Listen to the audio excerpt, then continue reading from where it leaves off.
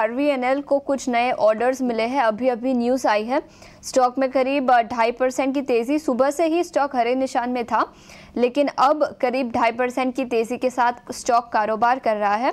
190 करोड़ के नए ऑर्डर्स के लिए लोएस्ट बिडर नियुक्त हुई है कंपनी रेलवे के तरफ़ से कुछ नए ऑर्डर्स आते हुए दिख सकते हैं, जिसके चलते ढाई की तेज़ी यहाँ पर दिखी है। राजेश, क्या राय रहेगी आरवीएनएल? और आरवीएनएल के अलावा और कोई रेलवे एंसिलरी कंपनी जहाँ पर आपको लगता है कि फ्रेश पोजिशन लिए जा सकते हैं? देखिए, आरवीएनएल का अगर हम जुलाई का प्राइस मूवमेंट देखें तो यहीं पे ट्रेड कर रहा था 410 415 के आसपास। वहाँ से एक स्ट्रॉन्ग रैली हुई थी जो 600 लेवल्स तक गई थी तो 415 से 600 अभी एग्जैक्टली exactly उसी लेवल्स पे है।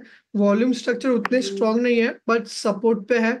और अगर ये सपोर्ट होल्ड करता है 415 के आसपास तो यहाँ से एक बाउंस बैक आ सकता है जो इसका 200 डे मूविंग एवरेज है उसका भी सपोर्ट है।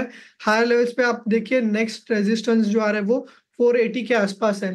तो डेफिनेटली काफ़ी अच्छे सपोर्ट्स पे है। तो बाय किया जा सकता है। मेरा जो काउंटर फेवरेट है वो है टीटाग्रा